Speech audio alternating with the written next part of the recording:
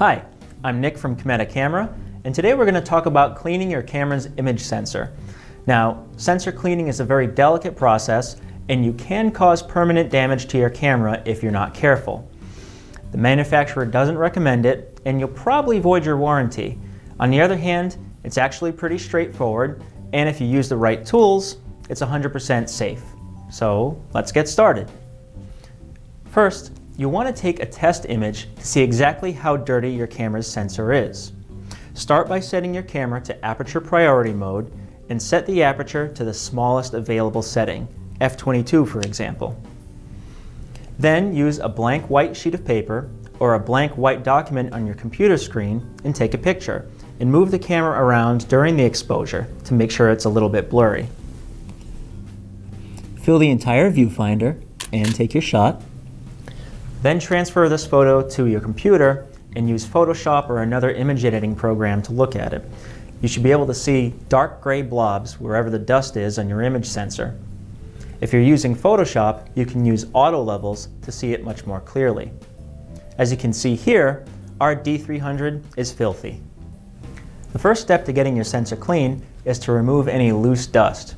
You can start by using your camera's automatic sensor cleaning feature, which shakes the optical low-pass filter in front of the sensor to remove the dust. Most cameras have this feature nowadays. Just find it in the menu and run the feature a few times. Then take another test image. If it helped, then you're done.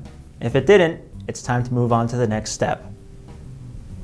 The next step is to open your camera up and get to the image sensor. Now, if you happen to have a mirrorless camera, then you can skip this step. But most standard DSLRs have a mirror inside that directs light up to the viewfinder. We're going to have to lock that mirror up so that we can get to the sensor.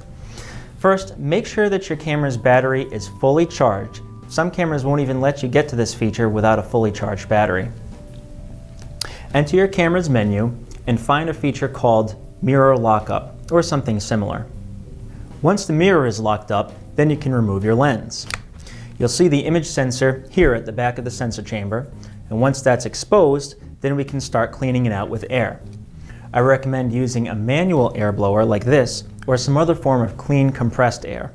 I wouldn't recommend using canned air like this product because these types of products contain propellants that can sometimes leak out and can damage your image sensor. So we won't be using that. Hold your camera upside down so that the image sensor faces the ground and that any dust that escapes is going to fall down instead of entering the sensor chamber. Use your air blower or other air and just start cleaning it out. Make sure you don't make any contact with the sensor itself. And once you're satisfied that you've eliminated as much dust as possible, reattach your lens, turn off your camera to reset the mirror, turn it back on, and take another test shot. As you can see, our image sensor still looks a little bit dusty, so it's time to move on to the next step, wet sensor cleaning. Again, lock up the mirror so that your image sensor is accessible. Remove your lens and put your camera on a very sturdy, dust-free work surface. To clean our sensor, we're going to be using a Visible Dust Easy Sensor Cleaning Kit, which is available on Cameta.com. It comes with four V-swabs, which are individually wrapped and are lint-free and 100% safe for your image sensor. It also comes with a small vial of cleaning solution, which is also 100% safe. All you need to do is apply a small amount of solution to the corners of the swab so that it's saturated but not dripping wet.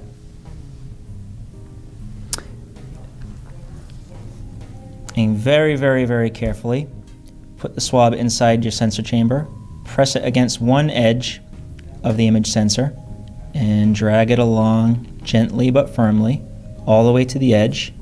Pull it out, turn it 180 degrees, use the clean side, and in the same direction, wipe the image sensor, pull it out, and dispose of that swab. We can never use that again. Reattach your lens.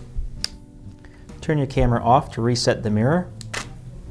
Turn it back on and take another test shot. As you can see, the V-swabs did the job. The image sensor is nice and clean and we're ready to shoot.